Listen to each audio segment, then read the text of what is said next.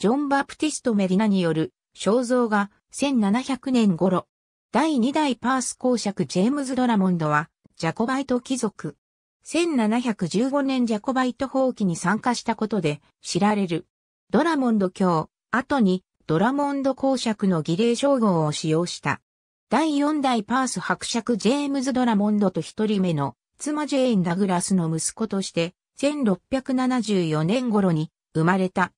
パリのコレージュ・ド・エコッセで教育を受けた後、1690年にジェームズ2世に同伴してアイルランドに向かった。1705年にジェームズ・ロー親王から失する勲章を授与された。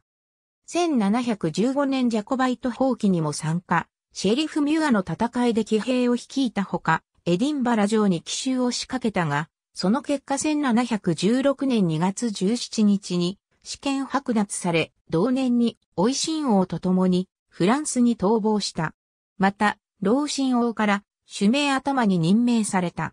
1716年5月11日に、父が死去すると、ジャコバイト爵位のパース公爵を継承した。1706年8月5日、ジーン・ゴードンと結婚に名を設けた。ジーンは1745年ジャコバイト放棄を支持したため、1746年2月から11月までエディンバラ城に投獄された。1720年4月17日、パリで死去、長男ジェームズが爵位を継承した。ありがとうございます。